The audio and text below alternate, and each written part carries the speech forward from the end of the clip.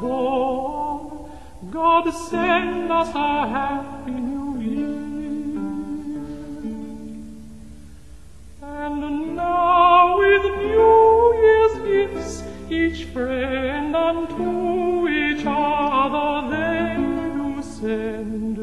God grant we may all our lives amend, and that the truth may appear. Snake, your skin cast off of evil thoughts and sin, and so the year begin. God send us a happy